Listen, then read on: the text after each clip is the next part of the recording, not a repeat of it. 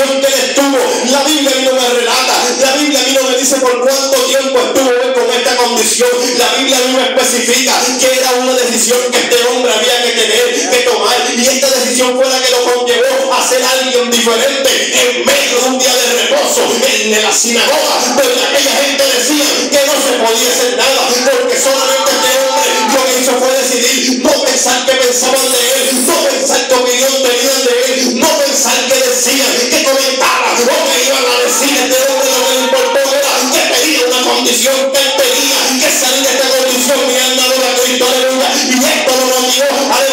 y ponerse en el medio. ¡Santo! ¡Gloria a Dios! ¡Santo!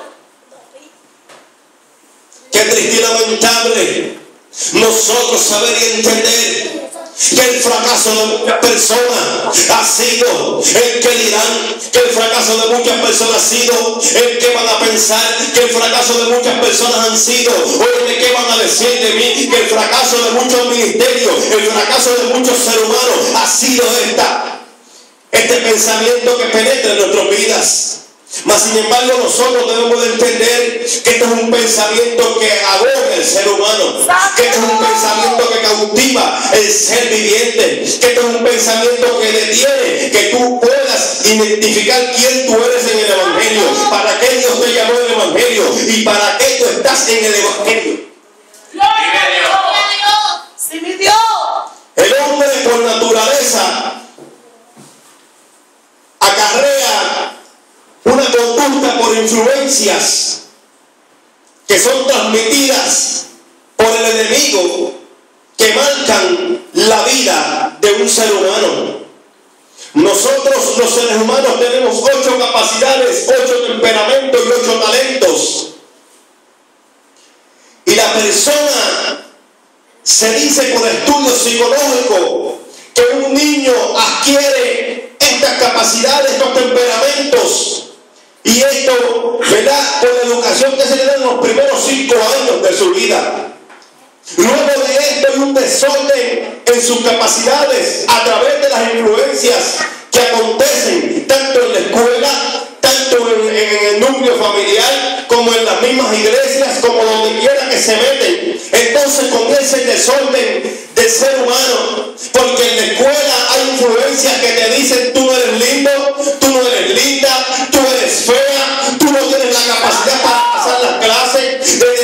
comienzan a marcarnos lo que es la burla, lo que es ¿verdad? Eh, eh, esa figura de que tú eres esto y tú eres esto y tú eres esto. Una influencia que marca la vida de un hombre y de una mujer. ¡Santo! Influencias que marcan la vida de un ser humano, siendo creyente y puede estar hasta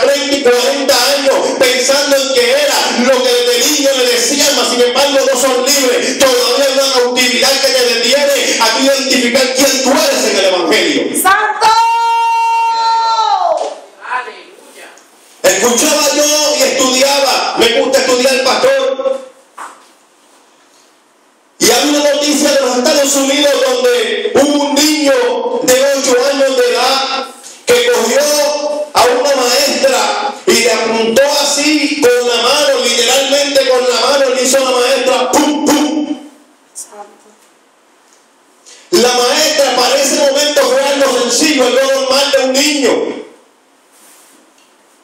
La maestra, el diablo trabajó en esta influencia tan poderosa que cuando la maestra se fue, esto comenzó a trabajarle por tiempo. Luego de un tiempo sale la noticia. Se, se mató fulano de tal, se holcó.